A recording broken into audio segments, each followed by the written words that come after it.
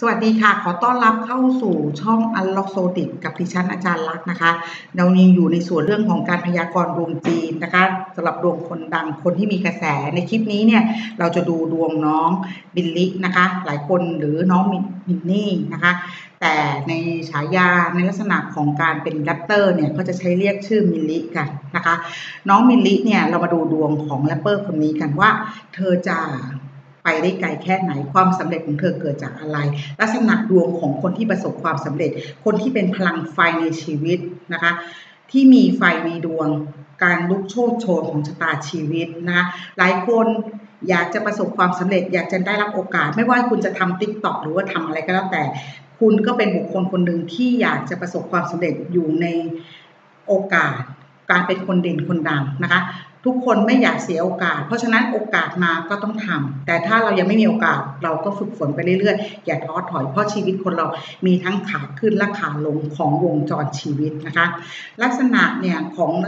ของโงเฮงต่างๆ จะเป็นเรื่องที่สำคัญนะคะตามจังหวะโครงสร้างใบหน้าของทุกคนเนี่ยมีความสำคัญใน ลักษณะของโอกาสที่จะได้รับอย่างดูหน้าของน้องฮิลิเนี่ยนะคะเธอมีหน้าผากสวยนะคะ หน้าผากเนี่ยก็คือปฐมวัยก็ช่วงวัยเด็กนะคะเพราะฉะนั้นเนี่ยวัยเด็กเนี่ยจนถึงประมาณช่วงอายุ 19 ปี ถ้าใครหน้าผากสวยเนี่ยเตรียมได้เลยว่า คุณจะได้รับโอกาส ไม่ว่าจะเรื่องของการเรียน ไม่ว่าจะในเรื่องของการทำกระแส หรือการที่ตัดสินใจลงตัวทำอะไรเรื่องของ การสอบเข้าหรือการแข่งขันต้องเน้นในเรื่องของจุดหน้าผากและสิ่งที่สำคัญบริเวณหน้าผากโหนกหน้าผากจะต้องสวยสวย แล้วก็จะต้องเรียบไม่มีแผลเป็น ไม่มีไฟจุดด่างดำไปขัดรวมถึงบุ๋มบอกนะคะ แต่วัยเด็กเนี่ยส่วนใหญ่จะไม่ค่อยมีนอกจากเรื่องของสิวที่จะเกิดขึ้น แล้วก็เรื่องของหน้าผากเนี่ยจะเป็นเรื่องของโอกาสที่ได้รับ บวกกับคิ้วด้วยคิ้วก็คือในเรื่องของความคิดเจตคตินะคะในเรื่องของการตัดสินใจหรือทำอะไรบางสิ่งบางอย่าง จึงเน้นที่สำคัญ และส่วนเรื่องของปากจมูกเนี่ยถามว่าสำคัญไหมปากเนี่ยจะเน้นในเรื่องของคำพูดคำจา เพราะฉะนั้นโครงสร้างใบหน้าสำคัญทั้งหมด เป็นการรวมตัวของธาตุบนใบหน้า แต่ลักษณะของอายุและโอกาสที่ได้รับจะต้องนับเป็นทางลักษณะของตัวเลขบนใบหน้า ว่าตัวเลขนี้ตำแหน่งอายุเท่าไหร่นะคะ ซึ่งจะแตกต่างกัน เพราะฉะนั้นการที่ มาดูในเรื่องของโครงสร้างใบหน้าก็ดี มาดูในเรื่องของดวงก็อีกเรื่องหนึ่งซึ่งถามมาประกอบกันไหมการดูโงเฮงตามวงจังหวะชีวิตจะต้องดูธาตุในดวงด้วยเพราะลักษณะของโหราศาสตร์จีนเขาจะเน้นในเรื่องของนรลักษ์ก็คือโครงสร้างใบหน้า โครงสร้างของอายุบนใบหน้า ลักษณะธาตุบนใบหน้านะคะอันนี้เป็นลักษณะของนรลักษ์ในลักษณะของโหราศาสตร์จีน คือการรวมตัวของ ห้าภูเขากระสิงแม่น้ำนะคะเป็นลักษณะของการดูโง่เฮงนะคะซึ่งจะต้องประกอบกับโหราศาสตร์จีนที่จะประกอบไปด้วยเรื่องธาตุในดวงชะตานะคะธาตุในดวงชะตาคืออะไรคือธาตุของเรานะคะธาตุในดวงเราธาตุในช่วงชีวิตเราธาตุในโอกาสปีที่มาในชีวิตเราด้วยนะคะทุกสิ่งทุกอย่างประกอบร่วมกัน และสิ่งที่สำคัญต่อมาก็คือ ธาตุที่ดีกับธาตุที่ไม่ดีธาตุที่คู่ในวันเกิด เพราะโหราศาสตร์จีนจะจับทั้งหมด 60 คู่นะคะ เพราะฉะนั้น ใน 60 วันคนจะเกิดมาคนละธาตุกันนะคะ และหลังจากนั้นก็จะกินเวลาประมาณ 2 เดือน แล้วก็อีกอีก60เอ่ออีก 60 วันต่อมาก็อาจจะซ้ำแต่ก็จะไม่ตรงเดือนกัน เพราะฉะนั้นจึงมีความแตกต่างกัน คนเราที่จะซ้ำกันได้อีกครั้งหนึ่งก็ 60 ปี ซึ่งก็จะแตกต่างกันในช่วงเดินดวงอีกครั้งหนึ่งนะคะ เอาละเพื่อให้ไม่เป็นการเสียเวลา วันนี้เดี๋ยวเรามาดูดวงของน้องมิลลิแรปเปอร์กันนะคะแรปเปอร์กัน น้องน้องมิลลิเนี่ย เธอเกิดเมื่อวันที่ 19 พฤศจิกายน ปี 2545 นะคะ หรือดนุภาคณาธีรกุลนะคะ วันที่เธอเกิดนะคะ เธอเป็นคนธาตุไม้นักษัตริย์ละกา นะคะ คนเกิดวันไก่เป็นคนที่แอคทีฟ เป็นคนที่ตื่นตัวไวนะคะ เกิดเดือนกุล เป็นคนที่มีความนิ่ง การฝึกฝน การรอคอยจังหวะ จะเป็นคนที่ดูเงียบๆนิ่งๆ แต่เป็นคนที่กระตือรือร้น ในเรื่องของการจัดการ ส่วนปีเป็นคนที่เกิดปีมะเมียนะคะ ว่ากันว่าบุคคลท่านใดที่เกิดปีมะเมีย ผู้หญิงที่เกิดปีมะเมียเป็นคนที่เก่งนะคะ เป็นคนที่มีความมุ่งมานะ แล้วก็เป็นคนที่ก้าวทะเยอทะยานสร้างความสำเร็จให้กับตัวเองเสมอนะคะ น้องมิลิเกิดมาปีธาตุน้ำนักษัตริย์มะเมียนะคะ ปีเกิดเป็นลักษณะของการรวมของธาตุเป็นลักษณะของธาตุไม้ เพราะฉะนั้นตัวเธอจะได้รับโอกาสที่ดีนะคะ จากในสิ่งที่เธอเป็น ธอจะได้รับโอกาสจากในสิ่งที่เธอเป็นจากถิ่นฐานแดนไกล เพราะการรวมตัวของตำแหน่งปีน้ำยิ้มนักษะ มาเมียแปรธาตุเป็นพื้นเป็นลักษณะของธาตุไม้ เพราะฉะนั้นเธอจะโดดเด่นในเรื่องของการแข่งขันทางด้านต่างประเทศการประกวดนะคะวันนี้เรามาเดินมาดูดวงชะตากันนะคะณเวลานี้เนี่ยนะคะเธอเดินดวงเนี่ยนะคะตั้งแต่ช่วงอายุ 12 จนถึง 22 ปีนะเป็นธาตุดินนะคะนักษัตริย์ละกานะคะถามว่าดีกับตัวเธอไหมมันจะเหมือนกับว่าเธอจะต้องคอยฝึกฝนทำซ้ำๆไม่ปล่อยโอกาส และเธอจะทำอะไรที่แตกต่างนะคะในความเป็นตัวของตัวเองที่อาจจะดูและขัดกับคนอื่น แต่เธอทำออกมาแล้วได้ดีนะคะเพราะว่าเธอได้รับโอกาสเป็นการเริ่มต้น คือเธอสร้างเขาเรียกว่ารูปแบบใหม่ในความเป็นตัวตัวเองในการสร้างกระแส ถือว่าลักษณะดวงแบบนี้เป็นท่าเดียวกันลักษณะเนี้ยหลายคนบอกว่าเดินดวงกับตัวเองเนี่ยถ้าเป็นลักษณะเฮงเนี่ยก็จะเหมือนกับสับ ผักขาตัวเอง ซึ่งจริง ๆ แล้วการผักขาตัวเอง ก็คือการถ้าเรามองในเรื่องของการผักขาตัวเองให้เปลี่ยนเป็นการทำอะไรที่แตกต่างที่คนอื่นคาดไม่ถึง มันก็จะเป็นโอกาสสร้างความสำเร็จโดยเฉพาะปีนี้เป็นปีธาตุน้ำมานะคะ ปีธาตุน้ำนักษัตริย์ ขานเข้าหลักห้าตำแหน่งปีเท่ากับตัวบนเป็นธาตุน้ำกุยนะคะ น้ำเล็กมานะคะตำแหน่งปีมาส่งถึงตัวเธอ เธออาจจะถูกผู้ใหญ่มองในแง่ไม่ดี แต่เนื่องจากถ้าเรามองว่าธาตุน้ำมานะคะในเดือนแต่ละเดือนไม่เหมือนกัน อย่างเดือนนี้เธอไปประกวด จะเป็นเดือนธาตุไม้นักษัตริย์นักษัตริย์ มะโรงนะคะ เพราะฉะนั้นนักษัตริย์มะโรงกับขานเนี่ยเขาก็เป็นพื้นที่ธาตุไม้ และเธอเป็นบุคคลธาตุนะธาตุมาแปลว่าเธอจะได้รับโอกาส แล้วการแปลธาตุเป็นธาตุไม้ จากที่ปกติในรอบปีเนี้ แปลธาตุเป็นธาตุไฟ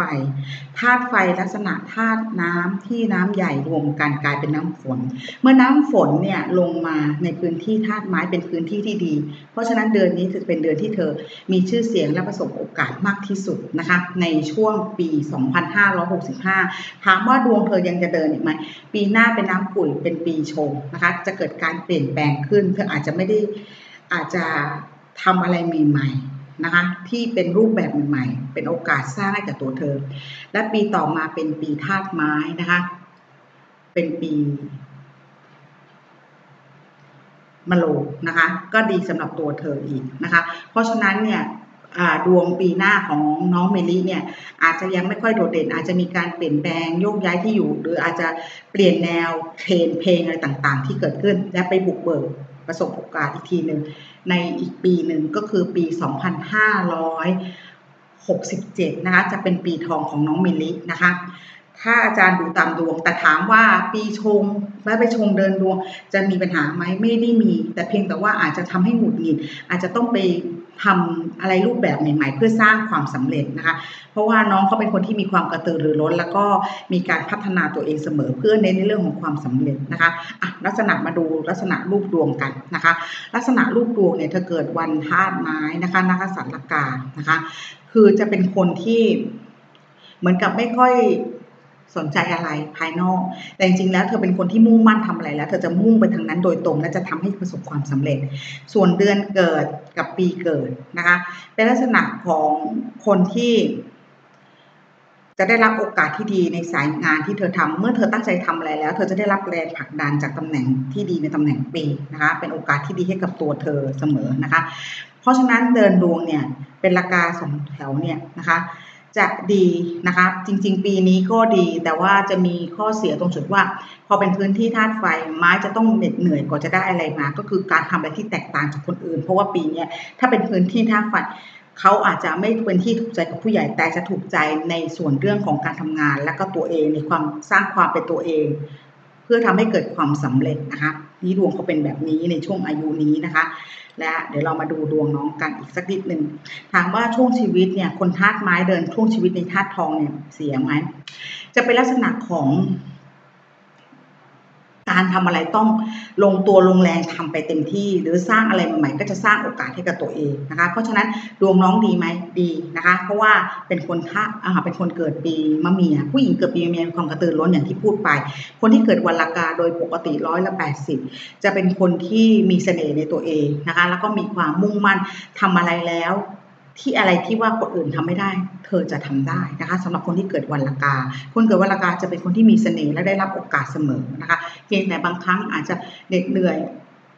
และรู้สึก เหนื่อยหน่าย แต่เธอจะเป็นคนที่มุ่งมั่นถ้าทำอะไรแล้วจะทำให้ประสบความสำเร็จให้ได้ ถ้ามีพลังความคิดที่จะทำนะคะ แต่ถ้าเธอไม่ทำเธอก็คือเธอจะไม่ทำนะคะ คนที่เกิดวันละกา โดยเฉพาะละกาธาตุไม้เนี่ยจะเป็นคนที่มีเสน่ห์แล้วก็จะเป็นคนที่เป็นที่รัก แล้วก็เป็นคนที่กล้าคิดกล้าทำกล้าพูด มีมุมมองที่แตกต่าง แล้วเมื่อลงตัวทำอะไรแล้วจะทำให้ประสบความสำเร็จและต้องทำให้ได้นะคะ มาดูในเรื่องของโงเฮงอีกสักนิดหนึ่งลักษณะเนี่ยหน้าผากเธอดีอย่างที่บอกไปนะคะ ช่วงคิ้วระหว่างคิ้วตรงนี้สวยนะคะจะประสบความสำเร็จตั้งแต่ช่วงวัยเด็กนะคะและในส่วนเรื่องของจมูกเนี่ยนะคะ จะเป็นคนที่มีความมุ่งมั่นเมื่อตั้งใจทำอะไรแล้วทำแล้วต้องทำให้ได้ ลักษณะรูปทรงปากนะคะ ช่วงคางช่วงนี้ดีนะคะ เป็นคนที่มีเสน่ห์ของเสน่ห์และมีความเป็นตัวของตัวเองสูงในเรื่องของการตัดสินใจ เพราะฉะนั้นถามว่าดวงน้องมิลลิดีไหมดวงของน้องจะเป็นคนที่ ถ้าเน้นในเรื่องของความกระตือร้น การบุกเบิก การตั้งใจทำอะไร เธอจะประสบความสำเร็จและได้รับโอกาสตรงนั้น และโอกาสตรงนั้นก็จะเป็นของเธอนะคะ ก็เดี๋ยวรอดูลุ้นเอาใจช่วยน้องเมลีกันสำหรับปีนี้ยังเป็นปีทองสำหรับเธอนะคะในปี 2565 ส่วนปี 2566 จะอยู่ในเรื่องของการฝึกฝนนะคะและไปเติบโตอีกครั้งในปี 2567 กับการ ทำงานในรูปแบบใหม่ที่แตกต่างไปจากเดิมนะคะ การแตกต่างจะสร้างความสำเร็จให้ตัวน้องบิลลี่นะคะสำหรับคลิปนี้ก็อาจจะไม่ยาวนัก เพราะว่าอาจารย์เน้นในเรื่องของดูให้มันง่ายขึ้นนะแล้วก็ให้มันกระชับกระชับมากขึ้นสำหรับคนที่สนใจในตัวน้องนะคะ แล้วก็น้องเป็นเด็กไทยนะคะ เราเป็นคนไทยเราก็ต้องให้กำลังใจซึ่งกันและกันนะคะ เรื่องของเหตุการณ์ต่างๆ ไม่ว่าจะความคิดแบบตัก แตกต่างกันยังไงนะคะก็เป็นความคิดของคน แต่การที่น้องเช่าสร้างชื่อเสียงกับประเทศซึ่งเป็นเรื่องที่ดีนะคะ แล้วเด็กไทยนะคะจะต้องจะได้ไปไกลกว่านี้ทุกคนนะคะเพราะดวงเมืองไทยเนี่ยเด็กหรือคนที่อายุน้อยจะสร้างชื่อเสียงให้กับประเทศนะคะ ประเทศไทยมีดาวพฤหัสเป็นดาวประจำเมืองนะคะ มีดาวอาทิตย์นะคะเป็นดาวทางภูมิภาค เพราะฉะนั้นเนี่ยเด็ก จะสร้างความสำเร็จนะคะให้กับประเทศ เพราะฉะนั้นเด็กก็คือสิ่งที่สำคัญที่สุดของประเทศ สิ่งที่สร้างโอกาสให้กับประเทศ ไอเดียความคิดของเด็กจะสร้างสิ่งที่ดีๆเข้ามานะคะ และสำหรับในเรื่องของเหตุการณ์บ้านเมืองอะไรต่างๆ ไม่ได้ประเด็นสำคัญ เพราะว่าถ้า เราเอาใจช่วย เอากำลังใจช่วย ซึ่งกันและกันไม่ว่าจะเป็นคนไทยหรืออะไร ก็เป็นเรื่องที่ดีนะคะสำหรับมาดูพื้นที่กลุ่มธาตุไม้กันอีกสักนิดนึงนะคะ ก่อนจบ พื้นที่กลุ่มธาตุไม้เนื่องจากน้องเขาเป็นคนธาตุไม้ เพราะฉะนั้น 6 5 6 6 6 7 จะเป็นปีทอง แต่ปีนี้จะชงนิดนึงนะคะ เมื่อชงเนี่ยมันจะมีประเด็นปัญหานิดหน่อยนะคะ ปีนี้อาจจะผลงานออกมาไม่ค่อยโดดเด่น หรืออาจจะต้องหยุดชะลอการทำงานสักนิดหนึ่งถามว่าทำไมถึงอย่างนั้น เพราะชงนะคะ ช่วงอายุ ปีนะคะ เพราะว่าเกิดปีมะเมียตามปกติคนเกิดปีมะเมียปีชวดนะคะ ปีละกา ปีถอกกลุ่มนี้จะชงกดกันเองนะคะ ในลักษณะของกลุ่มลบที่ชงกัน เพราะฉะนั้นเนี่ยปี 2566 เนี่ยอาจจะมีประเด็นปัญหาเรื่องราว อาจจะทำให้ไม่ถูกใจหรือมีทำให้รู้สึกไม่สบายใจ ส่วนปี 2567ถือว่าดีนะคะ เป็นพื้นที่ธาตุทองก็จะมีชื่อเสียง นะคะ สร้างคอลเลคชันอะไรใหม่ๆนะคะเป็นกำลังใจให้น้อง มาปี 2500 68 69 70 เป็นปีทองสำหรับตัวดวงน้องเขานะคะสำหรับน้องมินนี่นะ เป็นพื้นที่กลุ่มธาตุไฟนะคะจะดีนะคะเพราะฉะนั้นเนี่ยน้องจะเริ่มโดดเด่นอีกครั้งปี 67 68 69 70 นะคะเอาเป็นว่าเป็นกำลังใจให้น้องนะคะ และช่วงนั้นน้องก็เปลี่ยนดวงพอดี พอ 22 ปุ๊บนะคะ ก็จะย้ายเข้าสู่ปี เดินดวงเป็นกลุ่มวอกนะคะ เป็นพื้นที่ธาตุดิน จุดนี้เขาจะสร้างคอลเลกชันอะไรใหม่ๆเดี๋ยวเรารอลุ้นเป็นกำลังใจให้น้องกันสำหรับที่คนที่เป็นแฟนคลับของน้องมิลลินะคะ เอาเป็นว่าคลิปนี้นะคะ อาจารย์ก็ขอเอาใจช่วยน้องมิลลิแล้วก็เอาใจช่วยเด็กไทยทุกคนนะคะ ที่กำลังก้าวเข้าสู่ความสำเร็จและโอกาสในชีวิตนะคะ เป็นกำลังใจให้แล้วก็ขอให้ทุกคนมีความสุขนะคะสำหรับคนที่เป็นแฟนคลับตัวน้องก็ขอให้ เชื่อมั่นในตัวน้องนะคะว่าน้องคงจะมีผลงานดีๆออกมานะคะจะเร็วจะช้าเราเป็นคนไทยด้วยกัน เราต้องให้กำลังใจซึ่งกันและกันสักคลิปนี้ก็ขอให้คนที่ชมคลิป ฝากกดไลค์ กดแชร์ กดติดตาม กด Subscribe กับช่องด้วย ผิดพลาดประการใดทางช่องขออภัยด้วยนะคะสำหรับคลิปนี้ สวัสดีค่ะ แล้วก็เขียนคอมเมนต์มาด้านล่างด้วยนะ ในเรื่องของใครอยากดูดวงใครหรือยังไงนะคะหนูอาจารย์จะจับกระแสคนดวงคนดังมาวิเคราะห์ดวงกันนะคะสำหรับคลิปนี้สวัสดีค่ะ